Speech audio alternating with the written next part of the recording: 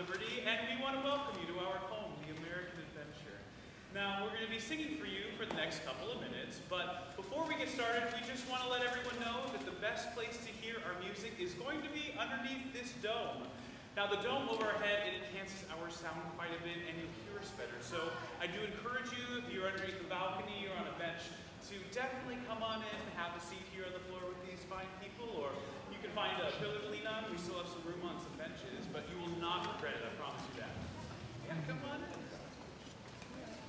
Excellent. While they're getting settled, is everyone having a great time at the Flower Garden Festival? Yeah. And now here is an American classic from the wonderful world of Walt Disney.